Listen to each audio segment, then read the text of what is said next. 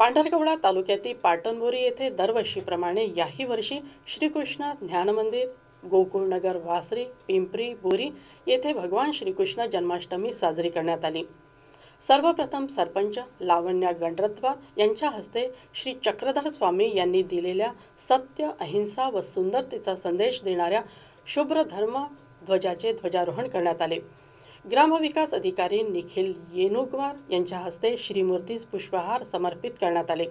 तसेच गणपतराव नालमवार यांच्या हस्ते दीप प्रज्वलित करण्यात आले. समाज बांधवांतर्फे प्रज्ञासागर बाबा यांना पवित्र समर्पित करण्यात आले. तसेच ब्रह्मविद्या पारंगत श्री भाणू व्यासबाबा महानुभाव यांनी भगवान श्रीकृष्ण या विषयावर प्रवचन दिले. त्यानंतर दहीहंडीचा कार्यक्रम घेण्यात आला आणि श्रीकृष्ण पालखीची गावामध्ये भव्य मिरवणूक करण्यात आली.